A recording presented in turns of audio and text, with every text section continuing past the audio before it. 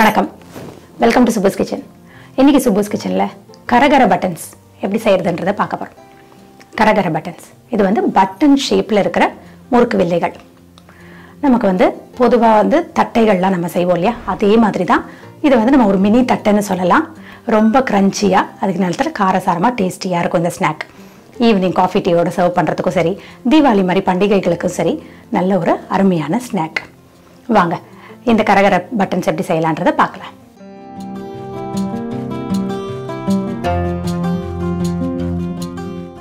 ஒரு ஒரு table spoon உளுத்தம் பருப்பு ஒரு டேபிள் ஸ்பூன் கடலைப்பருப்பு ஒரு டேபிள் ஸ்பூன் பைத்தம் பருப்பு. ஒரு பாத்திரத்தில் எடுத்துக்கோங்க. தண்ணி சேர்த்து மூணு பருப்பையும் நல்லா களைஞ்சி சுத்தம் பண்ணிக்கோங்க. சுத்தம் பண்ண தண்ணியை நல்லா வடிகட்டிட்டு ஒரு அரை கப் அளவுக்கு ஃப்ரெஷ்ஷான தண்ணியை ஆட் பண்ணிக்கோங்க. இந்த பாத்திரத்தை ப்ரெஷர் குக்கரில் வச்சு மூடி போட்டு மூடி விசிலும் போட்டுருங்க.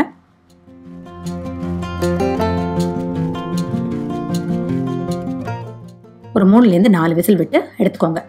பருப்பு நமக்கு நல்லா மசிஞ்சு வரணும். அதுக்கேற்ற மாதிரி நீங்கள் வந்து விசில் விட்டுக்கோங்க. ப்ரெஷர் நேச்சுரலாக ரிலீஸ் ஆனதுக்கப்புறமா குக்கரை ஓப்பன் பண்ணுங்கள் பருப்பு நல்லா வெந்திருக்கு. வெந்த பருப்பை தனியாக எடுத்துக்கோங்க. ஒரு கரண்டியோ ஸ்பூனோ வச்சு பருப்புகளை நல்லா நீங்கள் வந்து மசிச்சு விடுங்க. ஒரு பாத்திரத்தில் ஒரு கப் அளவுக்கு அரிசி மாவு எடுத்துக்கோங்க. ஒரு கால் டீஸ்பூன் பெருங்காயம் ஒரு அரை டீஸ்பூன் ரெட் சில்லி பவுடர் ஒரு டீஸ்பூன் உப்பு. நம்ம மசித்த வெந்த பருப்பு விழுது.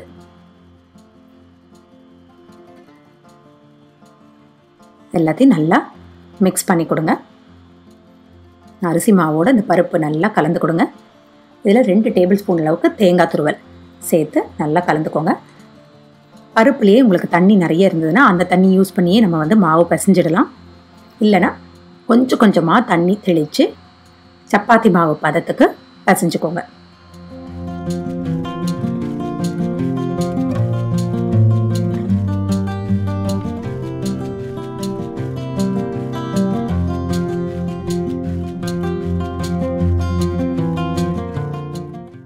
ஒரேடியாக தண்ணி சேர்க்காம கொஞ்சம் கொஞ்சமாக சேர்க்கும்போது நமக்கு மாவு பதம் கரெக்டாக வரும். இப்போ நல்லா நம்ம மாவு பசைஞ்சாச்சு. இந்த மாவுலேருந்து ஒரு கோலி குண்டு சைஸுக்கு சின்ன சின்ன உருண்டைகள் எடுத்துக்கோங்க.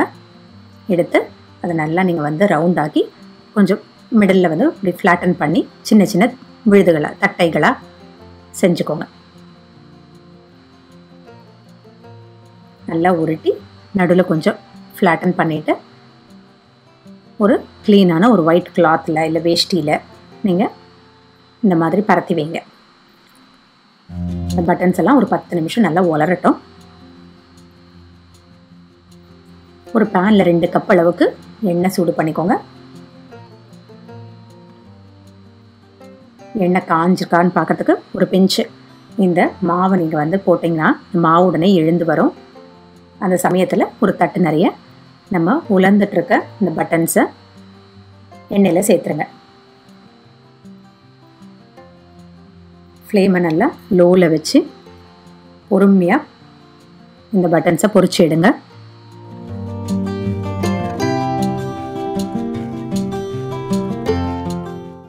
முதல்ல வந்து நமக்கு பார்த்திங்கன்னா நிறைய பபிள்ஸ் இருக்கும் நிறைய நுரை இருக்கும். அதுக்கப்புறமா கொஞ்சம் கொஞ்சமாக அந்த ஓசை அடங்கி நமக்கு அந்த நுரையும் அடங்கிடும். அது வரைக்கும் நம்ம லோ ஃப்ளேம்லேயே குக் பண்ணால் தான் இந்த பட்டன்ஸ் வந்து நல்ல கரகரப்பாகவும் இருக்கும். அதே நேரத்தில் உங்களுக்கு பொன்னிறமாகவும் இருக்கும். பார்த்திங்கன்னா கொஞ்சம் கொஞ்சமாக அந்த ஓசை அடங்குது பாருங்கள் இந்த சமயத்தில் நம்ம வந்து இந்த பட்டன்ஸை எண்ணெயிலேருந்து எடுத்து ஒரு பேப்பர் டவலில் வச்சோன்னா எக்ஸஸ் ஆயில்லாம் நமக்கு ட்ரைன் ஆகிடும் இதே போல் அடுத்த பேட்சும் நீங்கள் இந்த மாதிரி பொறிச்சு எடுத்துக்கோங்க.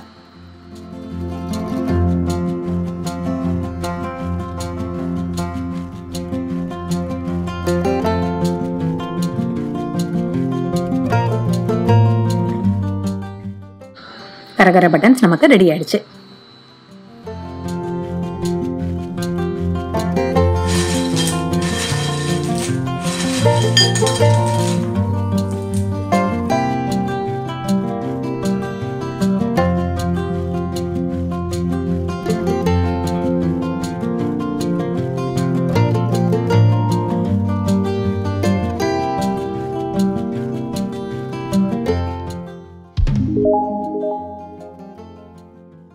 கரகர பட்டன்ஸ் இப்போ நமக்கு தயாராகிடுச்சு இந்த கரகர பட்டன் செய்கிறதுக்கு ஒரு சில டிப்ஸ் உங்களோட ஷேர் பண்ணிக்கிறேன்.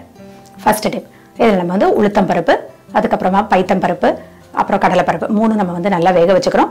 குக்கரில் நீங்கள் நல்லா ஒரு நாலுலேருந்து அஞ்சு விசில் விட்டு கூட எடுத்துக்கலாம். நமக்கு பருப்பு நல்லா மசிஞ்சிருந்தால் தான் அரிசி மாவோடு சேர்த்து நம்ம கலக்கும் போது கரெக்டாக கலந்து வரும். செகண்ட் டிப் வெந்த பருப்புலேயே நமக்கு நல்ல ஒரு ஈரப்பதம் இருக்கும். அதை தவிர நம்ம வந்து பருப்பு சில டைம் நமக்கு வேக வைக்கும் போது கொஞ்சம் தண்ணி எக்ஸ்ட்ரா ஆயிடுச்சுன்னு வச்சுக்கோங்களேன். அதை நீங்கள் வடிகட்ட வேண்டாம். அந்த பருப்பு தண்ணியை வந்து நம்ம யூஸ் பண்ணி நம்ம இந்த அரிசி மாவோட எல்லா பொருட்களையும் சேர்த்து கலக்கும் போது கரெக்டாக வந்துடும் நமக்கு. உங்களுக்கு தேவைப்பட்டால் கொஞ்சம் கொஞ்சமாக தண்ணி தெளித்து நல்ல மாவு பதத்துக்கு சப்பாத்தி மாவு பதத்துக்கு நீங்கள் பிசைஞ்சு வச்சுக்கோங்க. தேர்ட்டி நம்ம வந்து சின்ன சின்ன உருண்டைகளாக ஒரு கோலி குண்டு சைக்கு சைஸுக்கு நம்ம வந்து அந்த மாவை எடுத்து சின்ன சின்ன பட்டன் ஷேப்பில் நம்ம வந்து ரவுண்டாக தட்டி வைக்கிறோம் இல்லையா? அது வந்து ரொம்ப நம்ம வந்து தட்டை அளவுக்கு தின்னாக்கணும்னு அவசியமே இல்லை நமக்கு. கொஞ்சம் ஒரு திக்னஸோடையே நீங்கள் வந்து சின்ன சின்ன பட்டன் ஷேப்பில் நீங்கள் வந்து ஷேப் பண்ணிக்கோங்க. ஷேப் பண்ண அந்த பட்டன்ஸை நீங்கள் நல்லா வந்து ஒரு பத்து நிமிஷமாவது ஆற விடுங்க. அப்படியே நம்ம ஷேப் பண்ண அடுத்த நிமிஷம் நம்ம எண்ணெயில் போட்டோம்னா உங்களுக்கு சில டைம் வெடிக்கும். ஏன்னா அதில் கொஞ்சம் ஈரப்பதம் இருக்கிறதுனால.